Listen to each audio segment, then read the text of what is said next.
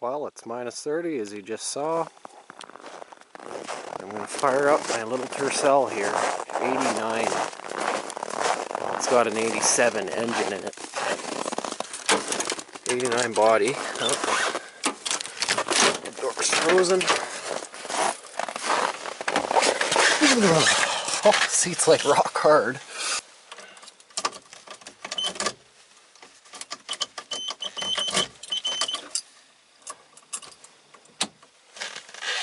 Uh, it's been sitting for about three weeks here.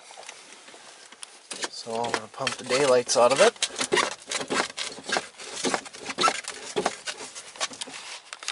And we'll see what happens.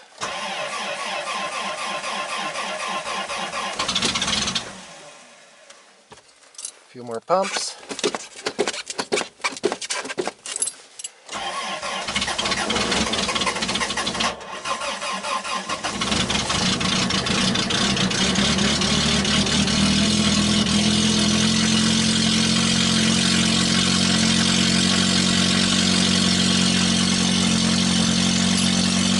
It's alive. Holy crap. Woo.